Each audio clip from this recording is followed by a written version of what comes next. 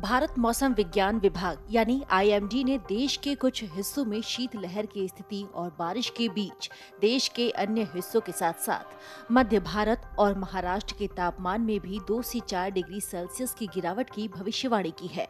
आने वाले दिनों में बिहार, पंजाब, हरियाणा, दिल्ली, उत्तराखंड और उत्तर प्रदेश में रात और सुबह के समय बहुत घना कोहरा छाने की संभावना है।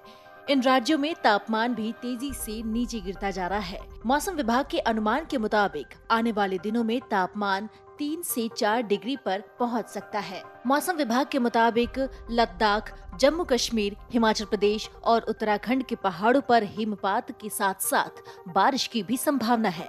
हिमालयी इलाकों में तो तापमान गिरकर माइनस में चला गया है। कई जगहों पर लोगों को पानी की समस्या उत्पन्न हो गई है, क्योंकि पानी बर्फ़ बन जा रहा है। इन राज्यों के अलावा केरल, कर्नाटक, तमिलनाडु और आंध्र प्रदेश और ओडिशा में बारिश की चेतावनी भी जारी कर दी गई है। देश में 23 दिसंबर से शीतलहर का प्रकोप देखने को मिल रहा है। मौसम विभाग की माने तो अगले पाँच दिनों तक हिमाचल, पंजाब, हरियाणा, उत्तराखंड और उत्तरी राजस्थान में शीतलहर का असर देखने को मिल सकता है। सुबह के समय हवा की रफ्तार भी तेज होगी। मौसम विभाग का कहना है कि क्रिसमस पर घना कोहरा देखने को मिल सकता है, जिससे दिन का पारा गिरेगा। इससे लोगों को कपकपाती ठंड और ठिठुरन का एहसास होगा। ज़्यादा होने से गहरी धुंध पड़ने की भी संभावना जताई जा रही है। दिल्ली में सुबह सात बजे तापमान गिरकर सात डिग्री तक पहुँच गया। वहीं आज अधिकतम तापमान 19 डिग्री तक रह सकता है।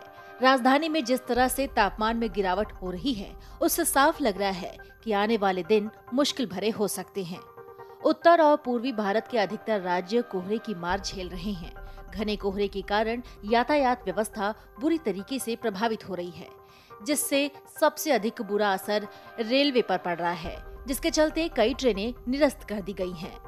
कोहरे की वजह से दिल्ली में कई उड़ानें भी प्रभावित हैं। दिल्ली को छोड़ दें तो दूर दराज के क्षेत्रों में कोहरा खूब छा रहा है। इससे रेल परिचालन प्रभावित हो रहा है। दिल्ली एनसीआर में कड़ाके की ठंड के बीच आईएमडी ने चेतावनी दी है कि दिल्ली में आने वाले दिन तीन दिनों तक कोहरे का सितम जारी रह सकता है। दिल्ली और पड़ोसी राज्यों में सोमवार तक घना कोहरा लगने के आसार हैं। ऐसे में लोगों को खास सावधानी बरतनी होगी। आपको बता दें कि जब न्यूनतम तापमान 10 डिग्री से नीचे और अधिकतम तापमान सामान्य से कम से कम साढ़े चार डिग्री कम रहे, ये स्थिति दो दिनों तक बने रहने पर मौसम विभाग दिन में शीतलहर की घोषणा करता है। Video desk Amar Ujala dot com. Download करें अमर उजाला ऐप और पाएँ खबरें लगातार।